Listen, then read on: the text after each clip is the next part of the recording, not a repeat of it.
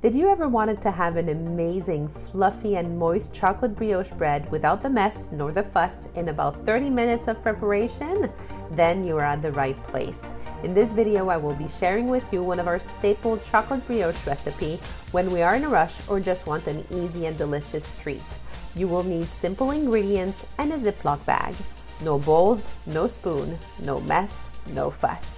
And if you like this kind of content all about simplifying the Jewish life, please consider subscribing. So let's jump into it. In your Ziploc bag, you're going to put the warm water, the oil, the warm milk, the egg white, the sugar mix, and finally you're going to put the yeast. Now close the Ziploc bag and mix it until all the ingredients are completely incorporated. Add 2 cups of flour and the salt. Then mix again. After about 30 seconds, you should reach this consistency. Add another half a cup of flour, then mix again. After 1 to 2 minutes of kneading, you will see that the dough will not stick to the surface of the bag anymore. Look at the dough. If it's really oily and sticky, add a quarter cup to half a cup of flour. If you find that it's just tacky but not too oily, then your dough is ready. Leave the dough to rise at room temperature for about 30 to 45 minutes, but if you have an oven with a bread proofing option, Leave it for 15 to 20 minutes. Put your dough on a baking mat or any greased surface. Do not use any more flour, this way your dough will stay nice and fluffy. It's time to degas your dough. Place it on your working station and work it until you do not feel any bubbles under your fingertips. Once that your dough is ready, a good practice is to weigh your dough and separate it in equal portions. This way it will ensure that your baking time will be even. Now for the fun part. Take a ball and spread it lightly. Do not make it too thin or the chocolate will ooze through. Put the chocolate filling in the middle of the piece, about 1 to 2 teaspoons.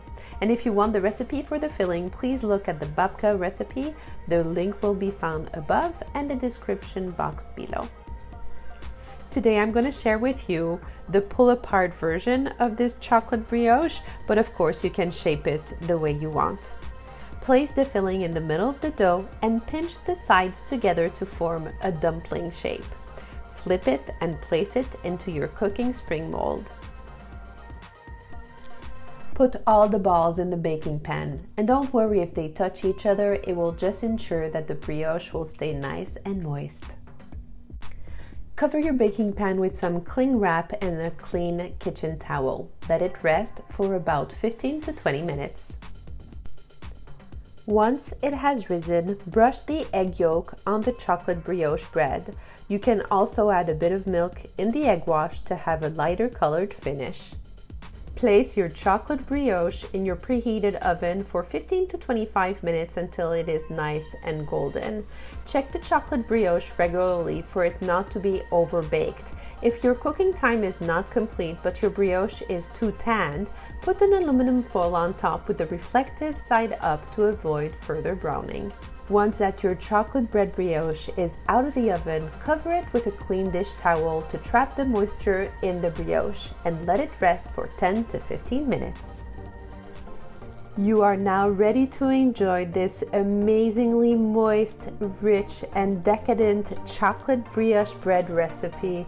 Enjoy it, la brioute, and please, if you like this kind of content all about simplifying yet adding meaning to your Jewish life, please consider subscribing.